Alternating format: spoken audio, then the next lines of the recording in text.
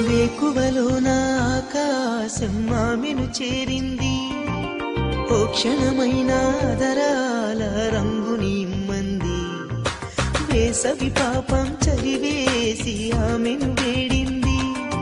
శ్వాసలలో నా తలదాచి జాలిగా కూర్చుంది. ఆనందమంతా నా సొంతమైతే ఆనందమైన వందే